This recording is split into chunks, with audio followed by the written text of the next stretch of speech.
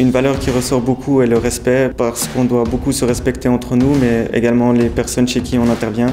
C'est ce qui nous permet aussi de beaucoup s'entraider et de collaborer aussi avec d'autres services de secours comme la police ou l'ambulance. Je m'appelle Jérôme Fernandez et ça va faire 7 ans maintenant que je fais partie des pompiers de la compagnie de Marly.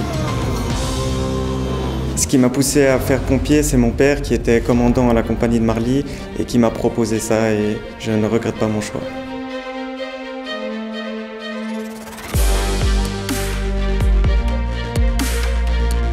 Je fais partie du groupe d'intervention classique et de la pôle route pour les manifestations et j'envisage de faire une formation de cadre à l'avenir.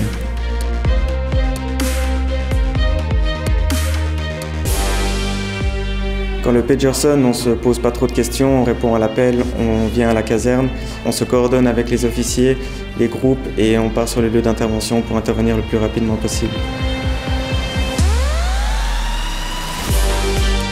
Peut avoir peur lorsqu'on se présente sur un lieu d'intervention, on a surtout de l'adrénaline, mais cette adrénaline est maîtrisée par le fait qu'on se connaît entre nous et aussi qu'on s'est entraîné pour ce genre de situation.